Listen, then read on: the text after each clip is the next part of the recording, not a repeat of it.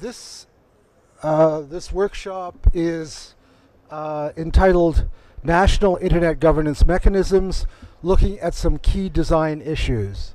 Uh, and what we've done is invited uh, uh, people to contribute from a number of uh, internet governance organizations at the national level that reflect, we think, a diversity of strategies towards internet governance.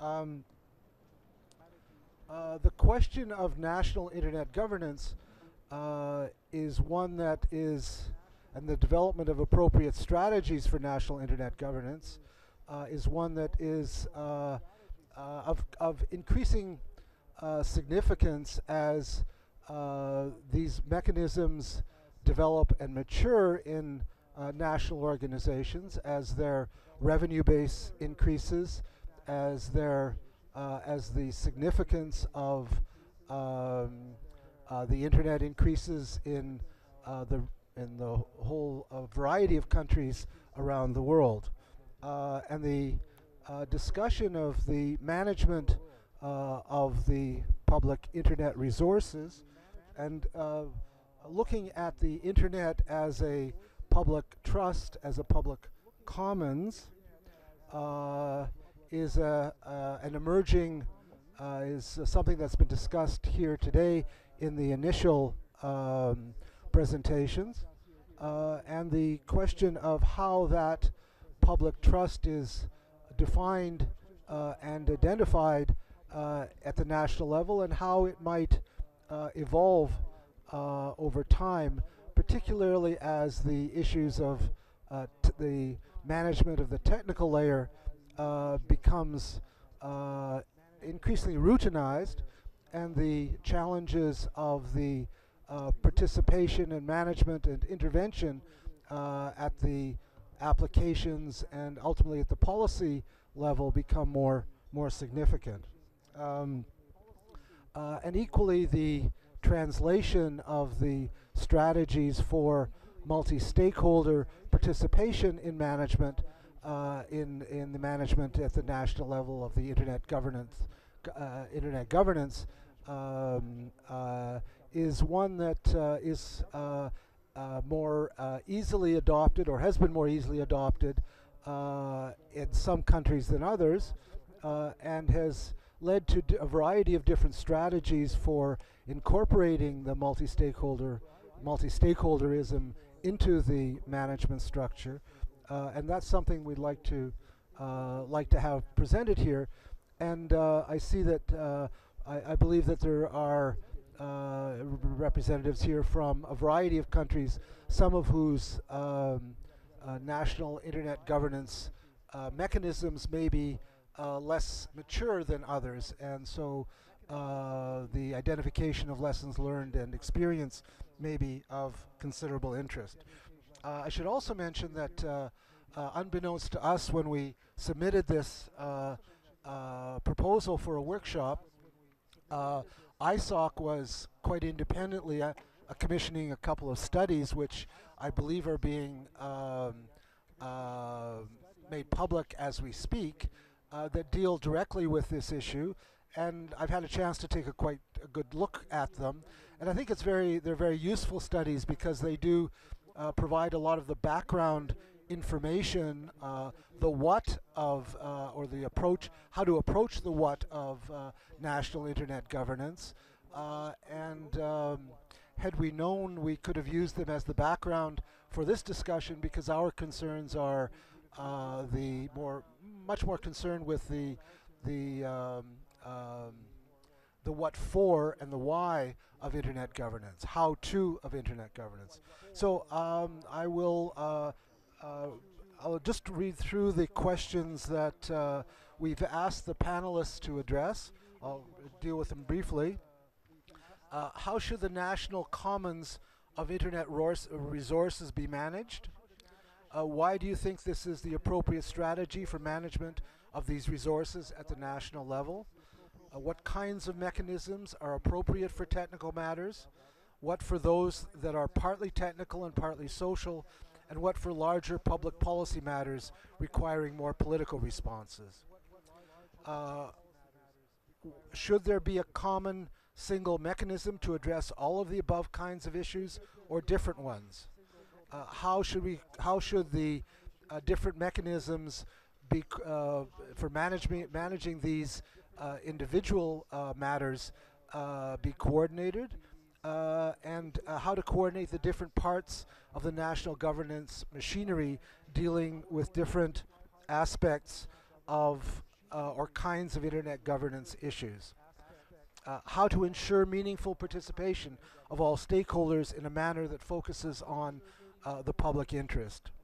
And how or should the surplus from the domain name registration fees, etc., collected by the national internet governance agencies be employed for public interest purposes, especially for, for example, taking up internet related research. So it's a big, um, a, a, whole range of topics, and we have some really excellent uh, contributors here. Um, uh, and we also have uh, Raquel Gatto is uh, our uh, internet moderator who is taking uh, will be taking questions and comments from the internet. And so I'd like to uh, uh, int in just introduce briefly the uh, panelists. Uh, Byron Holland, who's the CEO of CIRA, the Canadian Internet Registry Author As Association. Association. Registration Authority. Registration Authority. Okay, I should know that. I'm Canadian, and I should know that. Uh. Uh, Tapani Tarvainen from Electronic Frontier Finland. Uh, and he has a Finnish name, so I can be I, I, can be forgiven for having difficulty with it. Sorry, Typo. Um, Pranesh Prakash from the Center for Internet and Society in India. Uh, Susan Chalmers from Internet New Zealand. Where did you press? Oh, it's already. Yeah, no. Carlos Afonso from CGI.br. Okay. Um, and uh, I believe Fuad Bajwa will, who's actually presenting next door, will also be coming in to talk briefly about Pakistan. So uh, perhaps I'll ask Byron to uh, to kick off. Okay, thank you very much. Um, as mentioned, my name is Byron Holland, and I'm the president and CEO of CIRA, uh, which is the Canadian Internet Registration Authority, and we're the CCTLD operator for .ca in Canada. We do, uh, just to give you a quick idea of what we do, um, because there are many different ways to organize a, a country code operator, uh, we operate our own registry and DNS operations. So my shop is primarily full of engineers, both hardware and software, because we run the registry itself and the underlying DNS infrastructure for .ca, where we have multiple physical nodes across Canada, as well as engage Anycast clouds around the world. So we do a lot of operations within our group, but we also do a significant amount of policy work, both domestic and international. So we participate very actively in the ICANN world, uh, as well as here at the IGF, and uh, we'll also be participating at the WCIT. So in terms of the kind of environment that we have at CIRA, um, it's both policy and pure operations. Uh, to give you, I mean, to start to answer some of the questions, it's, it's a pretty wide-ranging and hopefully it'll be a very interesting discussion as a result. But when we talk about the national resources and how they're operated in Canada specifically, I think it's pretty fair to say that from a government perspective, uh, the Canadian government has had a very, very light touch in the uh, internet ecosystem in Canada. And that, um, I think, is important to note because the delegation for .ca and for most country codes flows through the government of the land, as it does in Canada. And in the late 1990s, when um, the, the TLD was being delegated, the government decided in consultation with the community, and this is where it really starts in terms of how we get to where we are today. the government of the land had a very open consultation with the internet community, and that was broad-based, both the, the industry actors, the registrars, who very much at the time wanted to make us an association, and, and it was interesting you sort of used that word to start with because that is not what happened. We did not become the association of uh, registry or registrar operators. We became the authority, and there is a big difference in those two words. But it was a consultation with the entire community, both industry, civil society, government actors, uh, other actors in the internet ecosystem, and from that was born CIRA, which is a private, not-for-profit corporation. And the government had the opportunity at that time to, in a sense, do as it wished. We could have been an agency of the government, we could have been an arm of the government, we could have been within a department of the government. I mean, there's a whole range of, of, uh, of organizational types, but the government very specifically chose to create a not-for-profit corporation. A- and that's where CIRA was really born. And part of the governance there, and in terms of how do the mechanisms work in Canada, is the actual governance model of CIRA. And while this gets a little bit dry, it is critical to how we in Canada balance the different actors in different parts of the ecosystem. So our board of directors is elected from the internet community. And that allows many different stakeholder types to put forward different candidates or support various candidates, um, a- and very much allows all of the actors to make sure that widely representative views are actually reflected on the board. In order to do that, there are a couple of categories.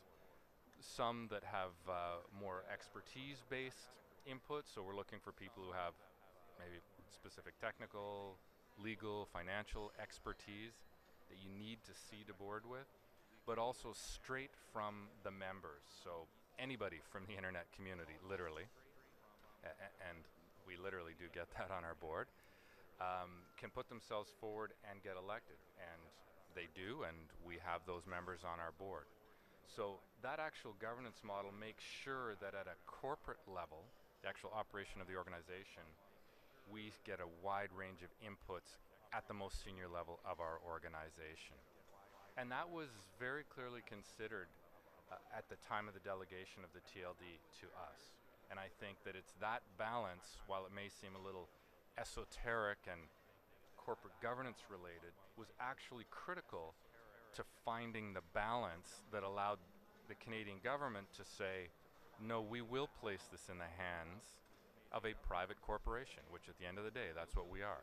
Our tax status is not for profit, but we are a private corporation in terms of uh, the type of entity that we are. But it was that balancing at the board level that allowed the government to have confidence that the entire internet ecosystem's views would be reflected in the behavior of CIRA. So that, that's a bit of background on, on who we are and how we came to be, but also why I think the Canadian government continues to have comfort in the way that we operate. Um, in terms of the overall commons in Canada, we have a number of different actors that play a significant role. We're certainly one of them in the domain space and the pure internet governance space.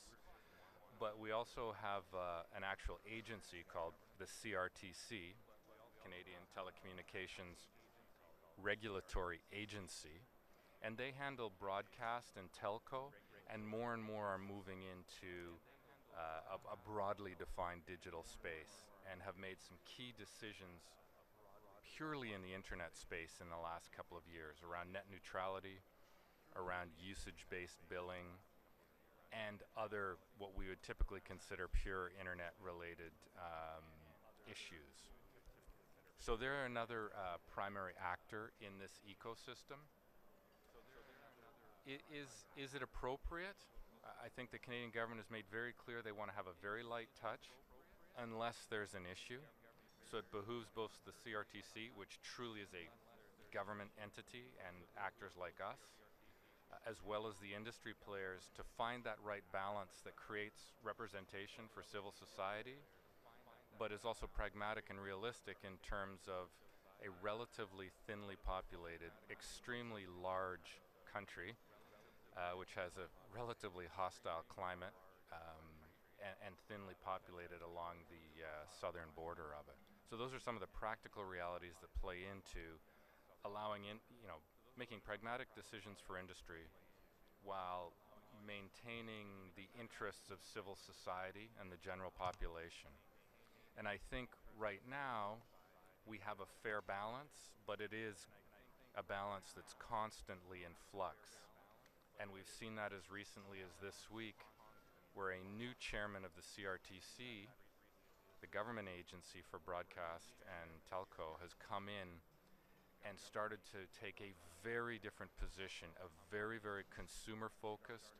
Uh, um, civil society is probably not the right word, but average consumer, average member of the population focus versus previous decisions which have been very industry centric. So right now we're going through a rebalancing of that and we as CIRA play a significant role as a neutral, independent, expert member of the ecosystem. Okay, th thanks, Byron. Um, I think I'll ask uh, um, Carlos Afonso to uh, talk from uh, from the perspective of Brazil. Okay. Uh, it's interesting because some of the policies and criteria used by CIRA in Canada are similar to the ones we use in Brazil. One of them, which is crucial and has been since we uh, CGI.br was founded in. I am hearing myself echo. Strange. uh, since CGI.br was founded in 1995, uh, that the CCTLD belongs is is a common good is is an asset of the commons and uh, like in Canada I am a Canadian citizen as well and I have my .ca and uh, I know that I have to prove that I am a Canadian citizen in order to get it. And uh, the same for Brazil .br is for Brazilians is regarded as the identity of Brazil on the internet. And uh, this since the beginning. And how was this process? I'll be a bit quick on this.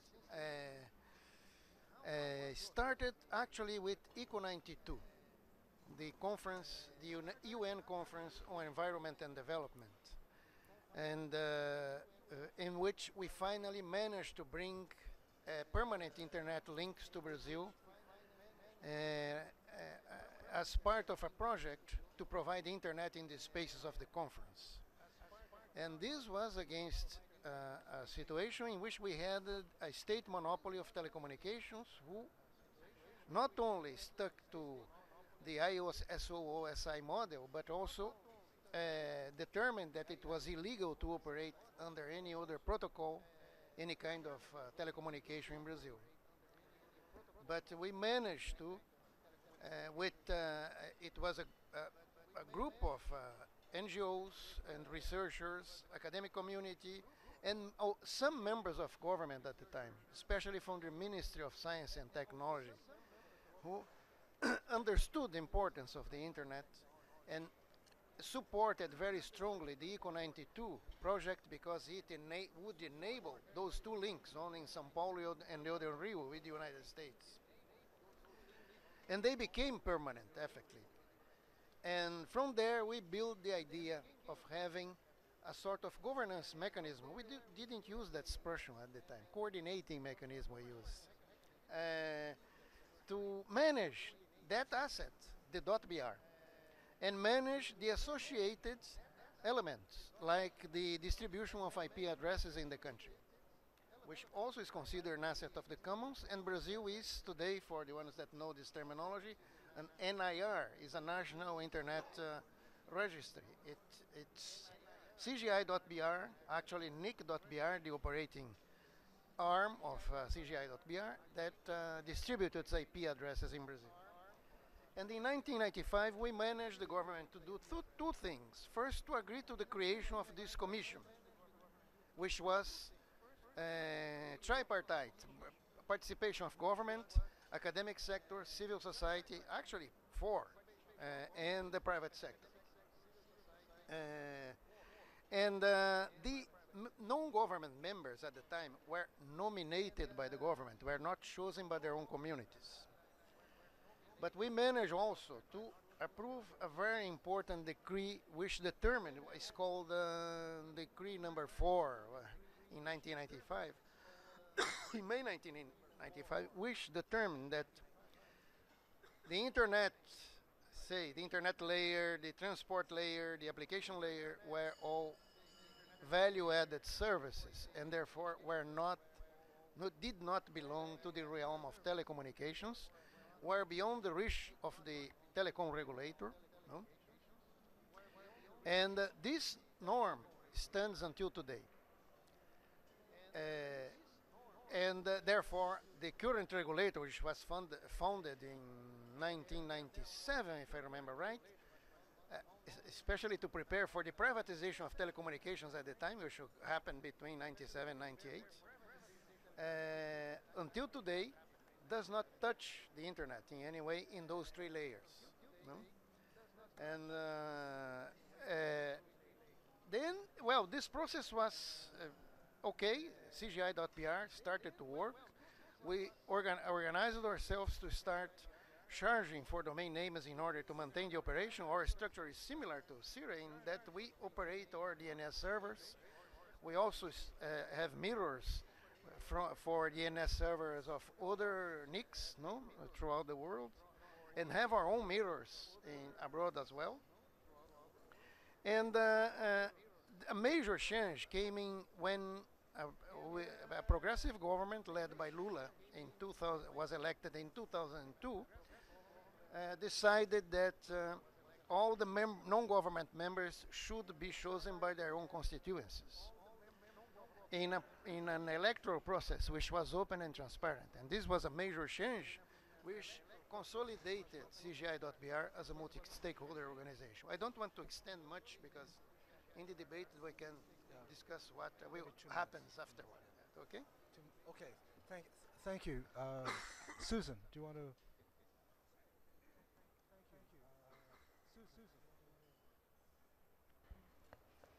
Um, as I had said before, my name is uh, Susan Chalmers, and I am the policy lead for Internet NZ, Internet New Zealand. Uh, so I'll just begin by giving a brief description of um, what Internet NZ is and who we are and what we do.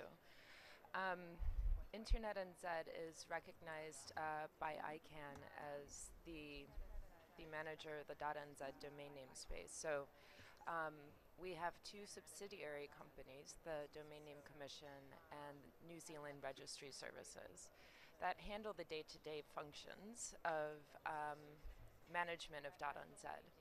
So uh, DNC, the Domain Name Commission, um, they handle all the domain name policy, um, and they authorize registrars um, and deal with uh, domain name disputes, while NZRS is the registry service. Um, Internet NZ, um, what we focus on is uh, developing um, policy that protects and promotes the internet in New Zealand for New Zealanders. Um, so, as uh, Byron had mentioned, that um, Canada has a very light touch uh, regulation of the CCTLD. I guess you could say that in that case, New Zealand has a super light touch um, because the delegation uh, does not flow through um, the government. We actually have an exchange of letters with ICANN um, where to operate um, the domain name space. So uh, we have a tremendously wonderful relationship uh, with the government, but that delegation did not flow through them. Um, so I think some of the guiding principles behind Internet and NZ and what we do, um, well, a lot of them stem from RFC 1591, which obligates all CCTLD managers to operate within the best interests of the Internet community.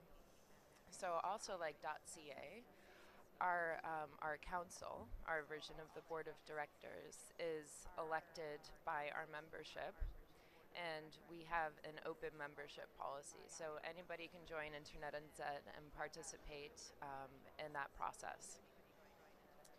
And so we kind of view ourselves, I guess you could say, as uh, the custodians of the internet in New Zealand, and so we have a positive uh, obligation to respond to the internet community. Um, and a bit about our um, our policy development process. So for Internet NZ, now Internet NZ used to, before about two years ago, we had a very kind of narrow ambit. Mainly, if we were promulgating policy, um, it was only with respect to certain issues, largely technical issues, um, and also uh, broadband issues, competition issues. In the past two years, Internet NZ has more or less wide, widened its ambit of what we focus on. So, I, for example, do um, a lot of work in the area of copyright law and the internet. Um, I also were contributing, um, we've been consulted by the government on the ITRs, um, and we're putting some work into the new GTLD process. So the ambit's really kind of um, widened beyond that. And uh, so I, I'd be happy to talk a little bit more about um, how Internet NZ interacts with the community and um, other organizations when we start discussing those Okay. mechanisms. Thanks, Susan. Uh, Pranesh.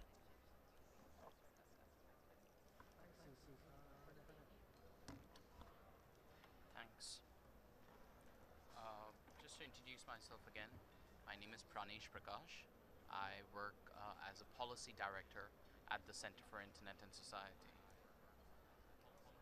Right at the beginning, I'd like to uh, reiterate something that uh, that Parminder said yesterday during uh, the discussion on enhanced cooperation. That a lot of our discussions around uh, internet governance uh, tend to center sometimes around ICANN and around uh, uh, around critical internet uh, resources, and traditionally that's been the case. Of course, if we see the development since, especially since uh, we see that it's it's been broadened quite a bit, and right now. Right now, we uh, we do see that policy-related issues dominate uh, public airwaves, but at the heart of it remains uh, internet resources uh, like names and numbers, and that's the only part of the internet that, in a sense, isn't truly decentralized, and there is no technical reason that it can't be decentralized. Uh, there have been attempts through the years uh, to achieve such decentralization, which just haven't gotten enough public support. So, to answer the question of how should the national commons of internet resources be managed, uh, for me, those commons exist at multiple levels, so there can't be any one answer to that question. And I'd also like to echo the words of uh, Andrea Glorioso from the European Commission, who uh, in uh, Sharm el Sheikh during a wonderful panel put together, uh, I think it was Sharm el Sheikh or uh, maybe at Vilnius, in a wonderful panel put together by Milton Mueller, made a great point about how even supposedly technical things, uh, and at that time they were discussing uh, DNS security, how even such su- supposedly technical things are in fact extremely political, and it isn't really reasonable uh, at one level for the technical community to be so hostile to uh, to uh, not political interference, but to uh, to the fact that these technical activities can be political as well, and it is unfortunate that that isn't seen. So. Uh, so that's just one one very broad point I'd like to make right at the beginning. In terms of how things are managed in India, well, uh, there's the National Internet Exchange of India, which is a private corporation uh, that was formed by, uh, uh, that's a private corporation uh, that was uh, in fact created by the government of India in 2003. Now, the National Internet Exchange also runs the .in registry, which was a governmental function earlier run by the National Center for Software Technology and for the Center for Development of Advanced Computing. And this changed uh, in 2005. However, most of a lot of the work at NIXI is outsourced to companies such as Afilias, and uh, there is no real uh, and and while there are industry members, uh, there is no real uh, public uh, participation in in processes. There are individual uh, tracks in NIXI for which for which the public participates. For instance, while handing out uh, grants from NIXI, Parminder uh, was a part of that process, uh, and other people in the internet sphere are called on for spe certain specific tasks, but there is no process for that. And this was quite clearly seen uh, during the uh, during the process of NIXI becoming the National Internet Registry as well. Uh, the decision making for that was not completely opaque because there are, we can see the exchange between the Telecom Regulatory Authority of India, the Department of Telecom, etc., and, and we can see that decision being formed, but there was no public participation in that decision. Uh, and that was one of the one of the main uh, issues at contention uh, that NIXI being seen as a government body, not being truly independent of the government, uh, whether it's appropriate for it to be the National Internet Registry. What kinds of mechanisms are, are proper? Uh, well, I don't really uh, know for, uh, and sorry, just to, to reiterate the question, what kind of me mechanisms are proper for those situations where there's a mix of both technical and social and larger public policy issues?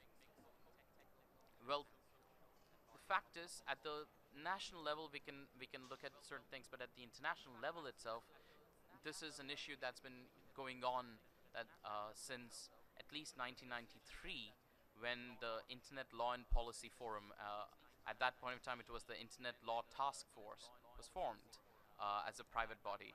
And subsequently in, in 97, there was uh, ISOC formed a project called the Internet Social Task Force uh, as a complement to the IETF and the Internet Research Task Force. Right?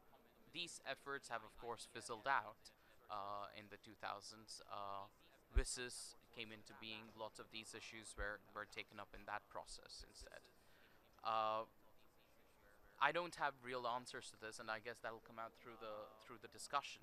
Uh, but these are just some issues I wanted to raise uh, right at the beginning for the situation in India, and in terms of what we can do uh, since Mike is indicating at me. So I'll, I'll save uh, uh, the issue of surplus surplus funds for, for a bit later in the discussion. Okay. Uh, thanks, Pranesh. Um, uh, Tapio from Finland. Tapani, to correct it. Yeah, I know Finnish names are impossible. Perhaps I, should reintroduce myself for just that reason. Tapani Tarvainen and I'm representing here Electronic Frontier Finland which is an NGO that has not all that close ties to the issues at hand. I was drafted here at a very short notice and I only saw the questions the moderator posed at the beginning of the session, so I'm um, apologies for not having a very well prepared speech. But I've been in the so to speak in the Finnish internet policies for a long time. Internet came to Finland from universities where I work and I've seen how it evolves.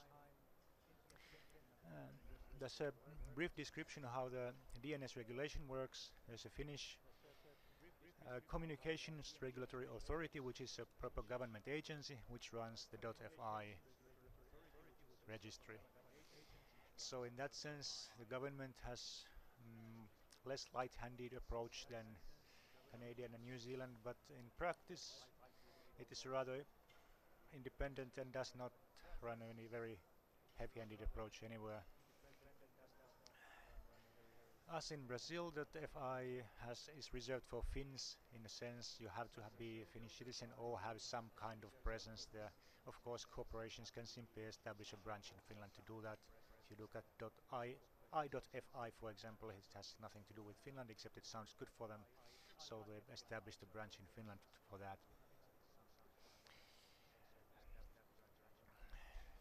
And uh, while this regulatory authority figure is a, a government agency, Finland is a small country and people in these circles know each other and there are lots of informal communications across. So whenever they set up new policies like which character sets to use allowed in IDNs, which is not an obvious thing. Finnish is written in Latin alphabet with a, a number of extra characters and besides Finnish there's Swedish speaking spoken and a number of three different Sami languages which have characters of their own. So they circulate, ask opinions for everybody who really cares. It, it's, they do take input into account. You ask how this should be managed. The Finnish system is, it sounds a bit fishy actually when you, I, you describe it like that. The uh, government or agency runs things and then talks to others. So, well, yeah, formally it's not really nice setup, but in practice it works well enough so far. And so you are talking about commons of internet resources. That's a rather wide subject. What all that encompasses. That besides the pure domain name system, and you think about what all the IGF handles. All kinds of things. You may notice that the Finnish represent government people in the IGF are actually from the foreign ministry. Possibly sometimes there have been some from the Ministry of Transport and Communications. And uh, various issues move between these in a number of ways. In the WSIS process and uh, also it was the foreign ministry who drafted the civil society members including me to participate there. And there's been a informal working task group or working group in run, by the Ministry of the Foreign Ministry that includes members from all over a few other ministries from NGOs like Electronic Frontier Finland so I've been there uh, from companies like Nokia and so on and organized also the Finnish Internet Forum in the past few years. Looking at the other questions, you know, how to ensure meaningful participation of all stakeholders, well, it's been like just invite everybody in and see who turns up. And Finland is small enough that usually everybody who wants to be involved can. Um, okay, one final question you have: how the surplus from domain name registration fees should be used, and the Finnish communications regulatory authority has been basically dropping fees whenever they run have extra money so far, which is a reasonable approach enough if you ask me. But I guess I'll leave that at that for now. Okay, thank you. Uh, just, um, um, sorry? Oh, yeah, okay. That's, um, so we've just been joined by David Souter, who's the author of the ISOC reports that I was referring to. And uh, perhaps, David, if you want to um, give a brief introduction to those reports. Um, I'll give you a couple minutes to uh, to gather your thoughts.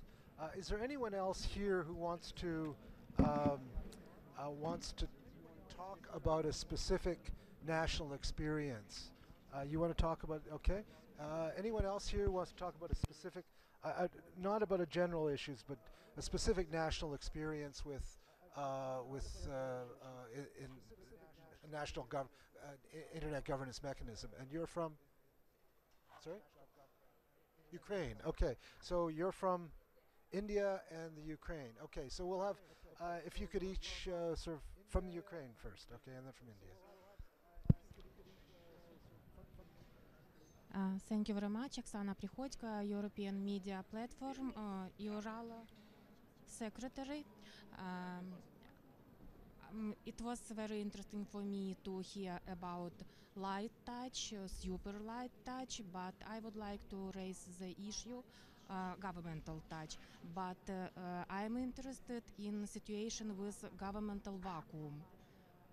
For example, just now during this IGF, we cannot uh, receive any official position of Ukrainian uh, government on ITU issues, on uh, CCTLD issues, on IDN issues, and it's great uh, concern for us. And uh, I know that uh, ICANN, for example, ICANN has some binding mechanisms, but for example, ICANN has no status of uh, um, international organization, and that is why Ukrainian government, for example, can uh, say that uh, we don't know about such organization at all. Uh, there is no um, such organization in our official lists, uh, governmental lists, and that is why we. Not must to be presented in such organizations. And of course, IGF also has no binding mechanisms. But uh, I would like uh, to discuss the role of international organizations with such binding mechanisms. Council of Europe, for example, Ukraine is a member of this organization, European Union. Ukraine is not the member of this organization, but uh, we tries to join this organization. And it would be interested for me to know um, are there any mechanism of coordination uh, of uh, such standards, minimal standards with such international organizations? Thank you. Uh, it's very interesting. So what you're you're you're presenting a challenge to the community of uh, national internet governance to develop some standards and a uh, mechanism which would support your uh, issues in, in the Ukraine. Thank you. That's very good. Thank you. And introduce Hi. yourself, please. Um, yeah, am I audible? Uh, very. Hi, thank you for having me. Yeah? Okay. So, because I can't really hear myself. know, I know. well, um, my name is Subi Chaturvedi, and I come from India. I represent uh, both academia and civil society in my small capacity. I teach communication and new media studies in India, and I represent Media for Change. But largely, I wanted to make an intervention because I was recently part of the MAG that put together the India Internet Governance Conference. Um, well, we did hope to create a similar platform like the IGF by any other name. That was really our attempt to make it more multi-stakeholder. Pranesh gave you a small introduction and an insight into how internet and debates around the internet governance happen. But um, you, uh, in your initial um, notes, mentioned that there are some countries which are less developed as far as the governance debate is concerned. Well, uh, we've had a lot of success as far as telecom is concerned, but as far as internet is concerned, we seriously have a long way to go. In terms of governance and conversations with the government, we're only just getting started. So we, we did see this conference as a huge step for, forward because for the first time we were able to engage with multi-stakeholders from all sections, academia, civil society, industry was represented. But my, my concern really is, and which is why I'd like this gentleman from CIRA to intervene at this point, because in India, uh, governing the internet has been a bit of a challenge because you have three separate government departments that um, formulate regulations as far as the internet is concerned. Uh, you have the Ministry of External Affairs, you have uh, telecom, you also have a lot of other representation. Um, so, in terms of getting a clarity, if there is a situation or an emergency situation, or even in terms of ITRs per se, uh, academia and civil society really had to struggle to get the first draft out, and we actually needed the industry to facilitate our interventions around the Indian government's official position on ITRs. Um, we've been able to come together, but only in disparate processes. So, how has CIRA and um, I think it is CERT, which uh, C uh, which is uh, managed to uh, find this balance in Canada. That is one learning process that um, would be great if we could share that. And um, I completely agree in terms of light touch and super light touch. We're talking about ideal um, utopian scenarios, but in terms of just finding platforms and voices to reach out to the government, because we know that one day we're invited and we're in the room. Um, for ITU, we don't even know uh, if we'll be able to make it to the WCIT platforms. So if public advocacy could come together and create enabling platforms, especially for academia and civil society who are often not very well funded, so the question of surplus, um, that's, that's one huge intervention, especially for developing nations. So I wanted to share the India story and also put this across on the table. Thank you. Before we get, before we go to uh, uh, Byron to uh, respond and to Parminder for his intervention, I'd like to ask David Souter to just briefly introduce the, the work that ISOC has been doing in this area. Um, hello, um, and my apologies for not having been here in the earlier part of the session, so I don't know how what I might say will fit into that. Uh, Parminder asked me this morning if I could come along and explain the new um, ISOC framework for assessing national ICT um, uh, environments, which I've developed for them uh, earlier this year and which we've just launched. Um, and so I'll try to take five minutes to do that maximum. Okay. Um, uh, essentially, it's a, it's it's built around um, a feeling that too little attention was being paid to the national level of internet governance, and that if we were fully to understand what was going on at a global level, a regional level, or, and a, or a national level, we needed to have a, a deeper understanding of the diversity of national experiences. Um, so the national assessment framework is based on uh, taking three fundamental factors within internet governance at national level, the issues with which people are concerned in the internet governance debate the stakeholders who are participating, and at least as important as that, I think, the stakeholders who are not participating at a national level, and the decision-making processes within the country. Um, uh, so we've developed that uh, this particular framework, and we've done a pilot study of Kenya, which is also launched today. Um, the framework takes those three elements and it seeks to, to develop maps for them which can be overlaid across one another uh, in order to, to build a kind of pictorial image of, uh, of the national environment, which helps to elucidate the textual analysis. Um, and the textual analysis is based on a methodology which is pretty familiar to any um, researcher, I think, of a combination of desk research, interviews and focus groups, observation of the national IGF, and, um, uh, uh and uh, a questionnaire uh, model. Um, but in terms of the analysis of those three different elements, um, what we do in the issues areas, we divide issues into four broad uh, groups, um, two technical groups, which are standardization and co coordination, um, infrastructure, which is a separate group, which is essentially to do with the relationship with the, between the internet and the underlying communications infrastructure uh, or the telecommunications sector, and public policy issues, which are um, in an old definition, if you like, broad internet governance, those issues in which the internet bodies themselves are not primarily responsible. It's not, of course, uh, for groups, it's a continuum, and that continuum is mapped diagrammatically in a way that I'm not able to show you on a because it, we, we can't do slides, but but which you, if you uh, look at the report on the ISOC website, you'll you'll see. Um, another way of doing that kind of issue mapping is to a mind map exercise, um, which is uh, as an alternative, which as some of you may know, I developed for the uh, for APC and other organisations a couple of years back. Uh, so that's the issue side of it. In the uh, stakeholder communities, we divided that into essentially five groupings, two of which have international uh, spin-offs. So, and those groupings being first government agencies, uh, second the private sector, in which we um, attached as much importance to the demand side, that is users, as to the supply side, that is businesses that supply the internet. Um, civil society, meaning all other organizational entities which are not profit making or government. Uh, the internet technical and professional community, which overlaps both with the private sector and with civil society, um, and users who are not properly uh, recognized in the view of this model within a civil society model, but are, but are actually separate. Users being um, both citizens and consumers, that is, the same people in two different uh, formulations. Uh, and the international organizations stemming the, off that, intergovernmental and, and the Internet international bodies. Um, in terms of decision making for uh, that's on the whole uh, more straightforward at a, the national level, you can identify some fairly clearly which are within the Internet. However, um, there are also important decision making entities at a national level which are not as well recognized. And those include government departments, which are public service departments, which are major users of the internet, uh, and therefore, um, because of their significance in the society and also their significance in the market for certain internet services, are quite powerful players. Um, and also, actually, that we felt that there's an underestimation of the importance of telecoms businesses as decision-making entities within the internet environment at a national level. Um, and I won't talk about the case study of Kenya, um, but others others could do that.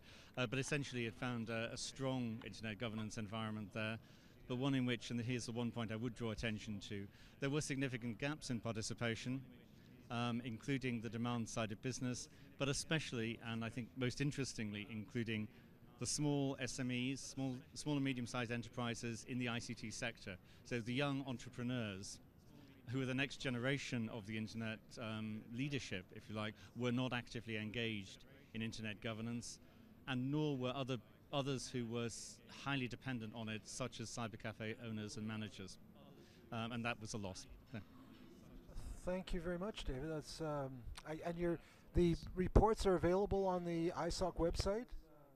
They're, they're available now, are they? Okay, good. Uh, anybody else have a national experience they want to?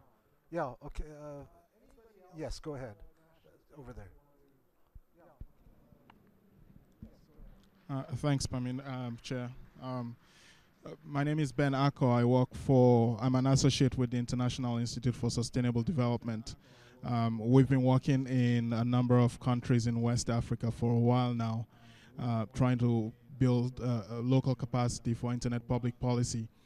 Uh, our intentions were pretty much to move beyond the dialogue only phase to uh, trying to apply that in development sector uh, specifically uh, pointing towards uh, steps that can be taken towards uh, meeting some development objectives. Um, we had implemented uh, a series of steps, and it took about two years to study Togo as a small West African country, very small. But um, when we stepped into the country, there was practically no public forum, and we wanted to build the capacity of a few people that we had met there that were interested in uh, bringing together multi stakeholders, which was not the traditional form of multi stakeholder partnership that we know it to be. Um, we wanted to see beyond the technical community, and so we brought other uh, civil society actors into the place. Using a series of steps similar to what David had mentioned for, uh, uh, uh, uh for Kenya, we put together some questionnaires just to elicit uh, what the core internet development issues were in the country, um, and also gathered a number of focus groups in which we brought participants together to address some of the critical issues that they thought were important for them. Um, and uh, finally, we ran a series of uh, what we call future scenarios exercises where we thought that they could identify where they would like to be at a few years from now and, and identify steps that could take them to those uh, uh, to that future. Um, at the end of it, we it was important to to state that uh, a couple of very important things were identified. Uh, one of which was the gaps that existed between the universities in building capacity for the industry. So, for instance, Togo's uh, phosphate industry was very uh, vibrant, but there were no gaps. Uh, so there were existing gaps that uh, resulted uh, as a uh, because there were no education programs that were put in place to meet, you know, the development of expertise and skills to fill those positions. That, so that was very clear. Secondly, education itself had some challenges that Togo, for it to be sustainable, uh, requiring its internet um, as a, a, medium or tool to enable uh, its economy, needed to have very strong education programs put in place, which uh, was very evident from that research. Um, a third component that came out actually was that there was a, uh, a gap in the culture of uh, uh, community that the internet had sort of come around to disrupt. Um, and, and so uh, the reason why it hasn't had the uptake that it's supposed to have was because uh, parents and uh, uh religious leaders thought that uh, the internet opened avenues to immoral uh, lives that habits that contradicted their, their local culture and tradition. And so there was a lot of capacity building and awareness issues that had to be taken care of for the internet to address the social challenges that the country faced. Um, this was an example where we looked at a number of, uh, you know, we just used a number of tools, met with a few people within the communities, uh, ran through some uh, scenarios, and produced things that were not internet based specifically, but touched on the economic development of the country. Thanks, Ben, and good to meet you finally. um, okay, uh, uh, Nnenna, did you want to talk about a specific experience? I guess um, what I wanted to do is just get, get a, a, range of specific experiences out, which I think we've done. Did you have a specific experience then, Nnenna? Go ahead. Yes. Good afternoon. My name is Nnenna and I live in Cote d'Ivoire. I wanted to share the experience of the use of internet by citizens. Um, Cote d'Ivoire is a country made up of about 70% of youth. And two, two years ago, we had a civil war. And the internet was used before, during, and after the crisis. And the use of the internet during the crisis, this crisis was after an election, had given rise to a greater internet aware community and the government has also come to understand that when the internet is used by citizens, it has a greater influence over policy, over business, and especially for humanitarian services. We have some of that documented, and I'll be glad to share with anyone furthermore. Um, but what the experience I would like to share with you is what we call in Cote d'Ivoire web utile. That is the internet that saves lives. The internet for humanitarian purposes. And the, that has brought us together the government, the civil society, the blogger community, and um, surprisingly, the telcos to come together and look at the way internet builds peace so we're, we're in the process of using the internet as a peace building mechanism. So it is easier for government to come around the table because we all understand that peace in a country that comes from war is, economic development, it's agricultural development, it's national reconciliation, and that has been the stock of our discussions during our national IGF which took place about three weeks ago. Um, so my, my point here is that it was taken over by the, so, the, civil, the citizenship, not necessarily what we call civil society today. And right now, um, we have come to the stage where we are drafting a users charter, a charter for internet users in the country so that internet will be a building block for peace in that country. It wasn't imposed by government, it was not suggested by the regulatory agency, but it is citizens themselves who put up an Internet Users Association and said we need to set up documentation in place that will help other people when in other places know how to make the best of internet as a build as peace building tool. Okay, thanks, Nana. Um, uh, okay. Uh, Parminder had his hand up. Uh, you had your hand up. Um, and there was a question there. And so, um, Parminder, do you want to talk? And then Byron to answer her question. And then we'll start opening the discussion up. Okay, thank you, Mike. Am I audible? Yes. Uh, yeah, I think it was a very interesting discussion and the kind of models we heard not only from the panelists but also like the one which Nana gave now gives us a very good basis of building how a national mechanism gets built. I see it in two or three categories. Um, I think yes, that's the problem of not being able to figure out how loud it is. Okay, thank you, uh, Mike. I think there uh, we can see things in two or three categories.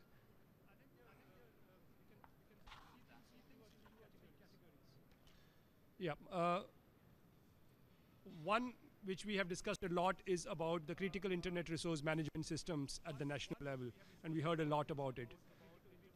And then there are general public policy issues which connect with the critical internet resources or may not connect that much. And within these public policy issues, there are ones which are convergent and there are others which are located in different ministries. And we have to see how they, they can coordinate.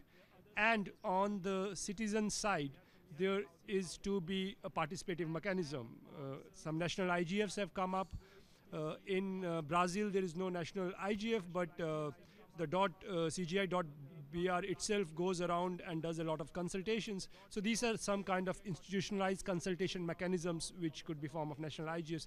So we need to be able to figure out which system um, fits best for all or three or four things. So I, I, I just thought categorization of things in this manner uh, is helpful and we are getting a lot of uh, inputs and we'll probably try to also map uh, what fits where.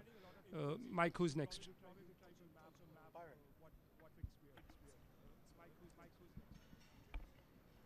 Well, I'll try to uh, I'll try to answer the question as best I can.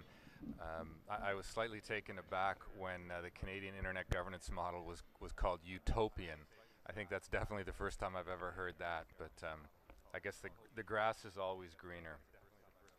Uh, to me, I spoke about uh, balance and the balance between the broadband and broadcast regulating agency, which is not us, and us as a private corporation that operates the, the .ca.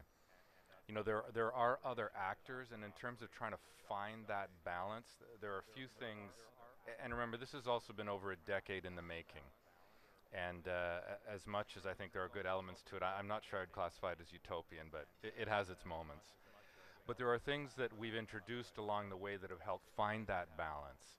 Uh, one thing is a broad multi-stakeholder board which I, will tell you practically, as a CEO, is an incredible challenge to work with, but at the end of the day, hopefully brings about a better final result. But the practical element is very challenging. On that board, we have a, a Government of Canada representative. And again, it's the small details that I think make a difference. Uh, she's non-voting, but she is a board member. Some of you may know her. It's Heather Dryden, who also happens to be chair of the GAC. Uh, and she gives us some time when she can. But that way, the government knows what's going on inside CIRA, knows what's happening at the national TLD level, and the governance activities that we're engaged in much more broadly. And since the government is the actual uh, has received the actual delegation and then passed it through to us. At the end of the day, they also know they have that big red button that they can press. If they really don't like what we're doing, they can redelegate. Now, that of course is a nuclear option, um, which takes me to my next point about balance. In our part of the ecosystem, if you just run it really well, in Canada, the government leaves you alone. We're a good news story and by being legitimate because we do what we do well, we stick to our knitting and do that well, we have a lot of bandwidth or, or, or, a lot of room for maneuver in the activities that we engage in. And I think that's another one of the key elements of balance that allows the CCTLD to do things other than just run the registry that are beneficial to the internet community. Uh, we try to be a good citizen. We do things other than just running DNS and registry. We, uh, we sponsor and run a Canadian Internet Forum where we do everything we can to bring many, many different actors uh, to the forum, both physically and online. And we also bring very senior government folks to that uh, environment, uh, which is actually really interesting to see because it's very rare, truly at the national level, where very senior bureaucrats and political actors actually have to face the general public and listen to the general public, and it's very rare where the general public gets to ask senior political and bureaucratic actors direct questions. So, you know, the corporate structure and how you balance that makes a good uh, makes a significant difference. Just being good at what you do gives you the legitimacy to then do other things that are to the benefit of the broader ecosystem, like running an internet forum. So those are some of the things that we try to do in Canada that give us the balance to act the way we do.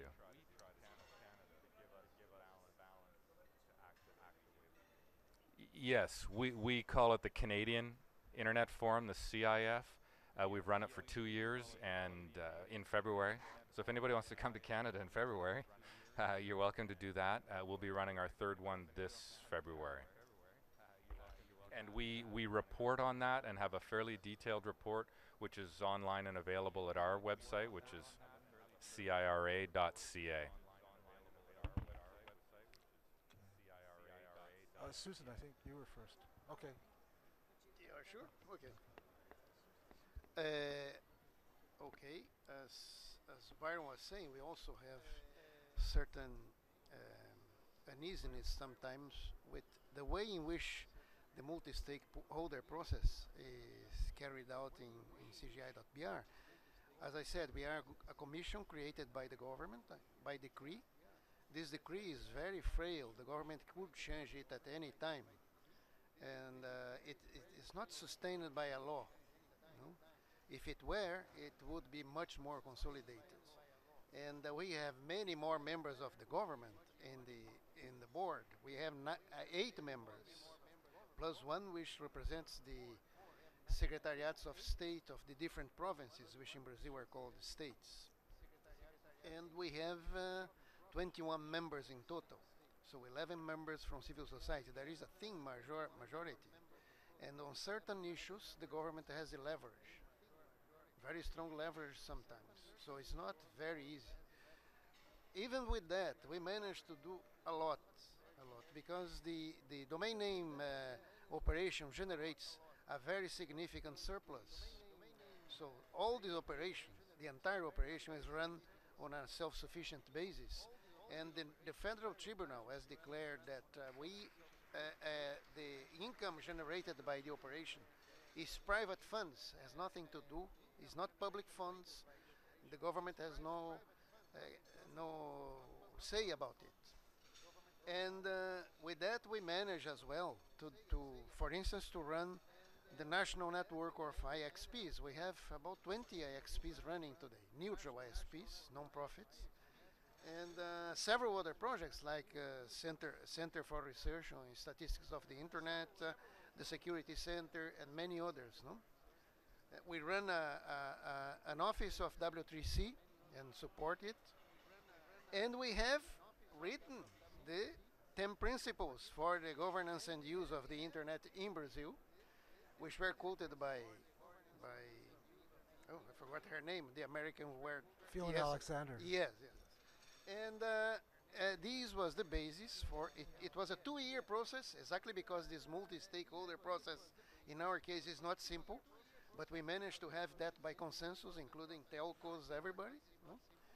And uh, it was the basis also for the proposal of the civil rights framework for the internet, which is right now going to Congress as a sort of quotation marks constitution of the internet in Brazil, which we want to, to have approved as, as a reference for any law or decree related to the internet that comes along.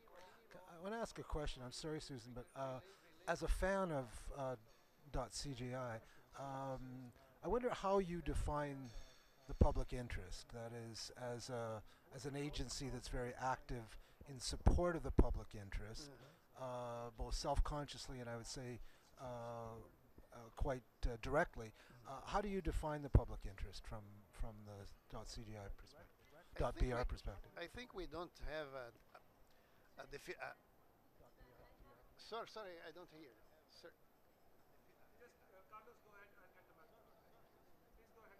Okay. Uh, we don't define it. We do it. We try to do it. No. And uh, the way we do it is exactly through this these projects, which we, we the priority in using those excess funds is in uh, what we call structuring projects. We know that we have plenty of funds, but they are very little compared to the size and scope and challenges of Brazil. So we try to focus, for instance, on providing infrastructure, like the IXPs, in trying to provide very good research on what is going on on the internet in Brazil, and is very is now a UNESCO organiz- uh, associated organization, which is CETI- CETIC.br, and uh, several other projects like that. We also uh, support several events related to internet governance and ICTs in Brazil, and a national forum on on internet, which is the also our IGF started last year. We run it a second time this year, and we are open for projects proposed by by society, projects related to internet development in, in several fields. So this is the way we try to carry out what uh, you said, the public interest. Okay. No? Susan? Thank you. Um, I just wanted to comment on what I see as a few emerging themes here um, amongst the panelists. So, um, in terms of national IGFs, Internet NZ has what's called a net hui, and hui is the Maori word for uh, meeting. And um, we've had two net huis so far. Our first net hui ed- was we had a couple hundred people, which is pretty big for New Zealand because we actually have I think an order of magnitude more sheep than people in the country. It's uh, about 4.64 million people in New Zealand. Um, and and so and our second one was an even uh, we generated even uh, larger interest and we subsidized uh, attendance of the IGF so that um, most people would be able to afford it. So over three days, I think it was like forty-five dollars and including lunch. So um, so that was really really an important part for us when we're talking about the multi-stakeholder um, the multi-stakeholder model because even though most of our policy, well, at least when I work on policy positions, they are greatly informed by the views of our members. We believe that it's important to reach out to the wider community and to try and involve them in the discussion. Um, also, I wanted to offer a comment on balance. So, in terms of, of balance, so Internet NZ is a, a not-for-profit charitable. We're a registered charitable institution. We're, we're a private organization. Um, our income is derived from um, the price that we charge uh, registrars um, for having domain names, and that's at one dollar and twenty-five cents per month. Um, so, and we were talking about use of funds and appropriate use of funds. So, first, there's I mean we're sub we're subject not only to the laws of uh, New Zealand but also to that of public opinion. And one thing that I've learned, and that I've been in New Zealand for two years, is that um, Kiwis really like a fair go, and and so we do, we we are subject to a lot of scrutiny in the press, um, and we operate under the constraints of not only the laws but the public opinion, and and so to that extent we aim to be um, as inclusive as possible, and the Domain Name Commission always has broad public consultations in developing any change when it comes to uh, domain name policy. Susan, could I uh, Yeah. um, uh, just uh, one of the uh, as to follow uh, follow up question. One of the things that intrigues me about uh, Internet New Zealand was the intervention that uh, was made in the uh, New Zealand digital strategy, which was one of the I mean, it may have been before your time, but it was one of the initial uh, national uh, strategies for internet development in a, on a, on a very broad basis, including uh, it was a mul- very multi-stakeholder uh, um, process that really defined government policy for, for a period of time. And I, I think, as I understand it, Internet New Zealand was a very active proponent of that. In fact, may have been the one of the most important proponents in that. That was actually before, Before your time. I'm sorry. Okay. But it sounds like something we do. Uh, well, it was it, Um, you did, and it was very yeah. important. Maybe somebody over there. d- Did you want to comment? Uh, somebody's somebody's nodding. I think it's I think it's important uh, because I think it's it is an extension of the notion of what it means to represent the pu- the public interest and public good. And uh, perhaps you could introduce yourself and comment. Speaking about the New Zealand thing, Yeah.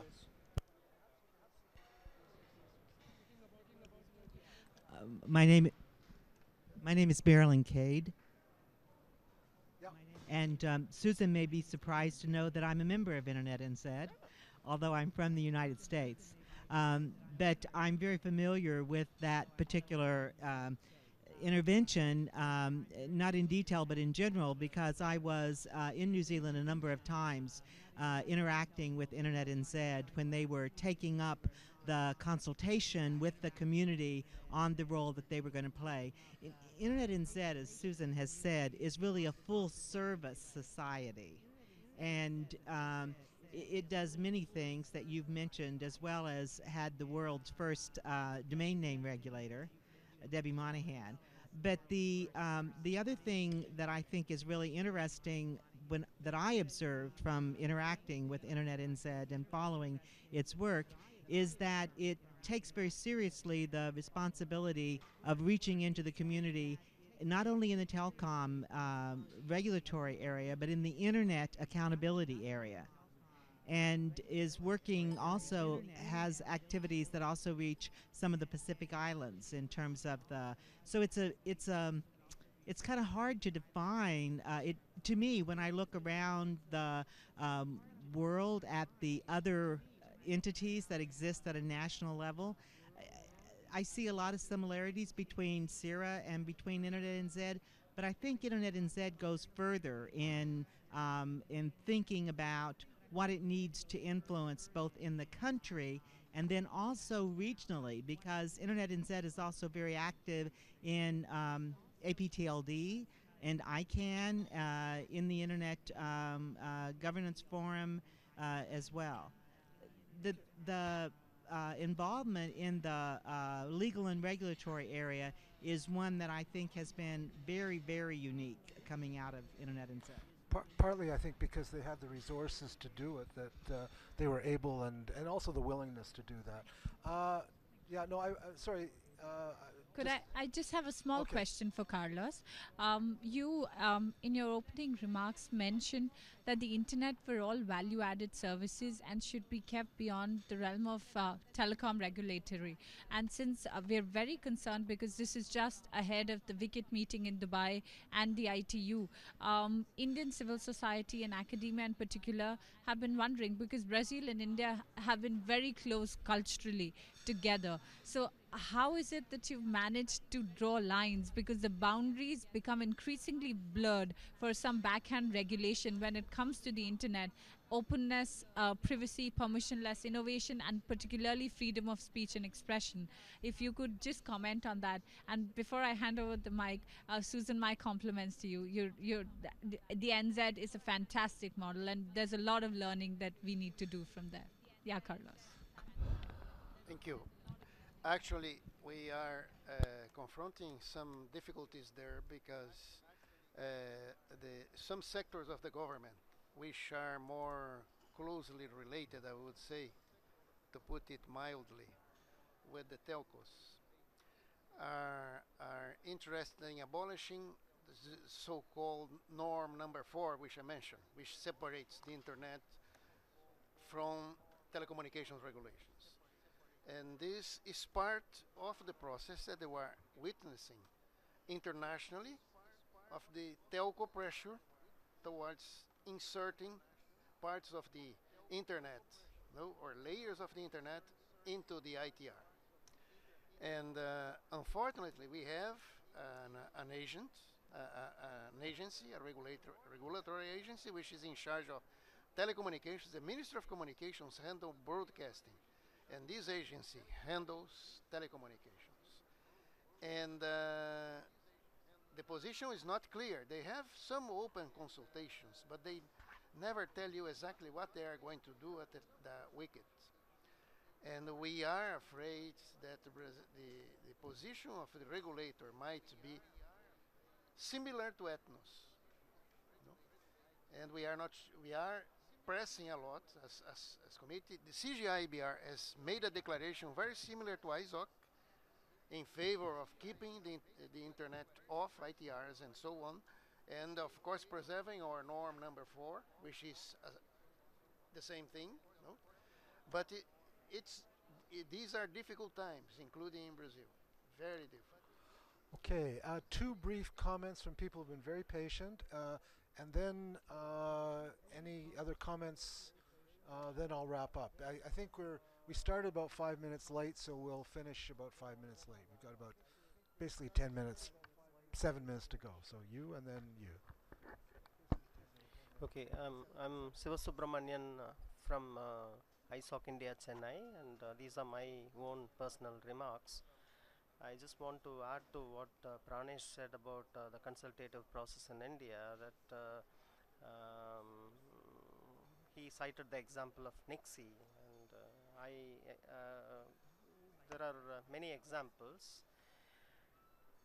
I'm making this remark at a point of time when things are looking up. There are some definite signs of a willingness on the part of our government to um, respect the multi-stakeholder process. But I just want to go back a little to the immediate past and uh, say that uh, consultative process in India has so far been um, in appearance and um, either the call for consultation has not been made wide enough or because it suited uh, our government to keep certain processes closely held there was always a disinclination towards uh, consulting people or disinclination towards uh, the multi-stakeholder process. And where there was indeed a consulta- consultation an announced consultation the consultation was more an appearance than in reality. I'm making this remark for for all participants from India to uh, bear in mind uh, in uh, the immediate interactions with government and to insist that any consultation process that we come up with, uh, especially for the Internet Governance Forum or, uh, or for all Internet processes, be truly consultative and that the call for consultation goes wide enough. Thank you. Okay, thank you. Um, we've had heard a lot from India. Uh, perhaps, perhaps anyone else not from India. I, I don't mean to discriminate against India. It's a, a major portion of the world, but uh, I know, I know, I know, I know. And uh, uh, sorry, please go ahead.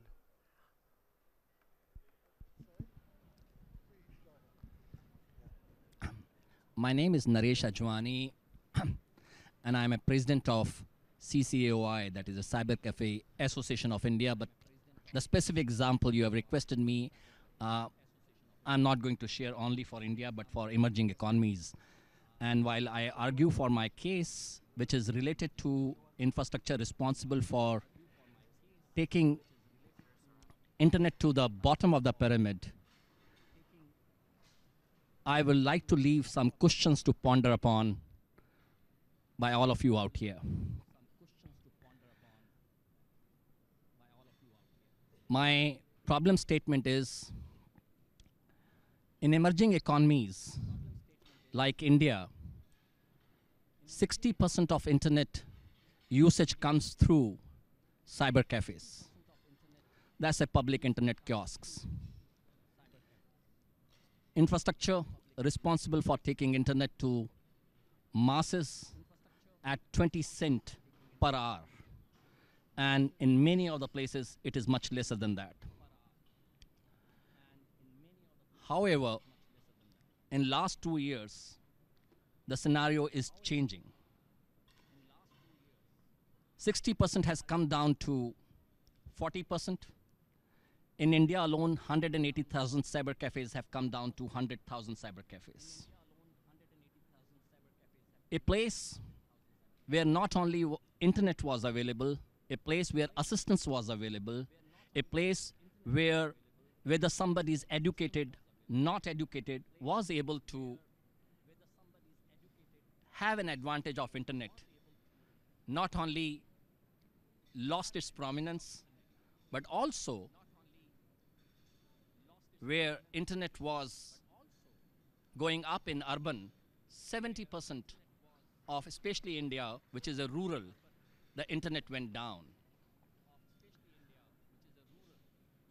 While I can argue that quite a few stakeholder, stakeholders, especially from authority side, were responsible for the same, but definitely many of the stakeholders who promote openness and who are generally known for taking care of bottom of the pyramid never made a note of it.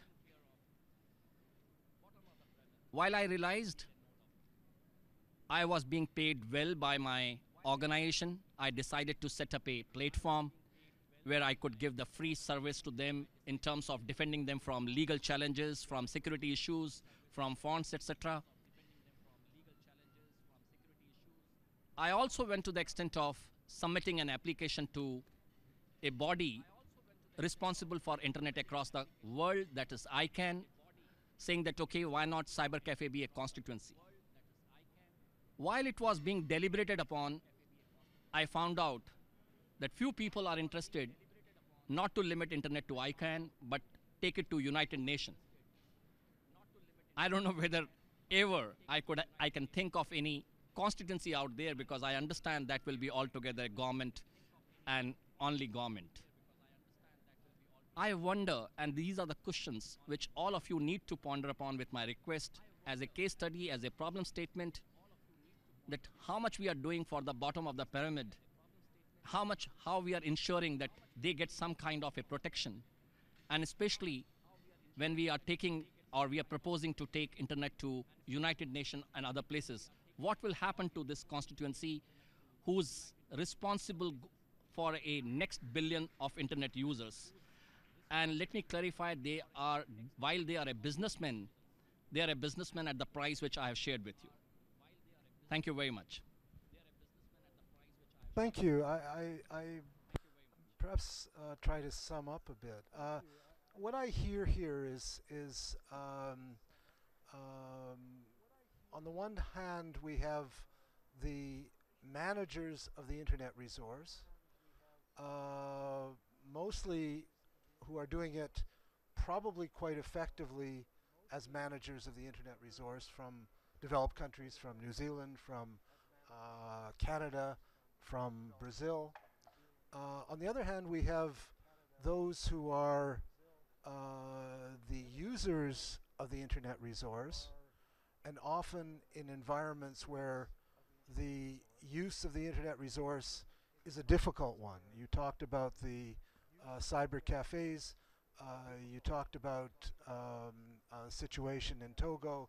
Uh, Nnenna talked about the situation in in uh, in Cote d'Ivoire, and I guess the question then is, how are those balanced? Uh, we don't have those kinds of situations, those those difficulties in Canada. So the uh, business as usual, an extension from there is uh, is perhaps the most appropriate, or is, is certainly the the most obvious way of proceeding. Um, on the other hand, how should internet resources be handled, be managed, so as to enable the kinds of uses and users that you're expressing, that Nnenna's expressing, that you're talking about, Ben, to, to support that? And then how can those in the developed countries uh, perhaps support those developments and the development of appropriate management structures in the developing countries that would satisfy those kinds of demands.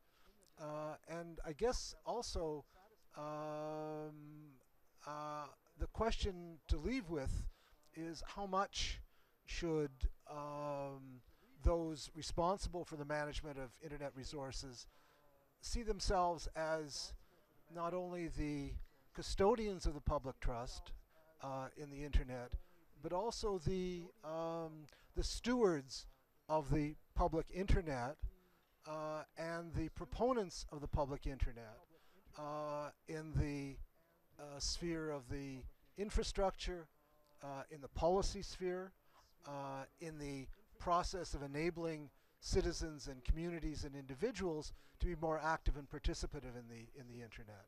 And I think those are challenges. I think those are a series of challenges for the developing developed countries and for the developing countries. And I think that there's really uh, uh, there's been an extremely interesting and dynamic discussion and one where a lot of the issues I, I, I haven't mentioned your issues of uh, in the Ukraine, which is really a, a, a, another set of issues, which is how to ensure uh, a governance structure that is public, transparent, accountable, uh, that acts in the uh, interests of the citizens uh, that engages at the at the the global level. Uh, so I guess what we've got here is a series of uh, of interesting challenges and and uh, and potential opportunities for uh, for um, becoming more proactive in the development of uh, of internet governance mechanisms and in the nature of those internet governance mechanisms. So um, I would thank you. Has anyone got any final comments? Parminder, did you want to? I mean, if anyone wants to make a final comment before I make it, but I just wanted to talk about uh, what do we want to do, go ahead with uh, from this workshop as an organizer of the workshop, along with uh, Mike Pranesh uh, and others. Uh, what and and uh, CGI.br of Carlos Afonso's uh, organization. Uh, the kind of things we want to go forward with from this workshop. But uh, is Mike? Uh, should I go ahead or is anybody else? Yeah. So uh, we just would uh, thank you very much for coming over here, and we plan uh, to, and the, we had some early discussions with Center for Internet Society to uh, build a kind of a best practices uh, or a comparative uh, paper about best practices in different places in different parts of the ecosystem. And as I described there is the CIR management part there is a broader public policy part and there is a public consultations and public participation part which is the IGFs and we'll try to you know lay out the advantages disadvantages best practices in each area. And I would appeal to the people who have participated today. We'll send emails to them as well to give uh, documents which they have and if they don't have documents short notes on the kind of work they have been doing and we'll try to together compile that and we would like to have this dialogue uh, carry on uh, in the IGFs to come. Thank you. And I just add to the list the, the developmental component, because I think that uh, th- that uh, many of the managers of the internet resources um, can see themselves as having a, devel- a developmental role in in in, uh, in enabling the broadest possible use of the internet. So, so thank you very much, uh, Carlos. Did you want to say something? very quickly, just that uh, we have information in English about CGI.br and NIC.br, the structure we have. If anyone wants to, to us to send it, uh, please check. Uh, you could check with me. My email is very simple: ca at, ca sorry ca at scafonso c a f o n s o dot ca. is a very egocentric email. but not BR. I'm uh, Susan at Yeah. internetnz.netnz, so please. Okay, so if anyone wants to continue this discussion, I guess the best thing would be to uh, to um, uh, come over here and give us your email. Give us a card or give us your email, and we'll try to continue the discussion. Thank you. Thank you very much. It was a great panel. That was okay.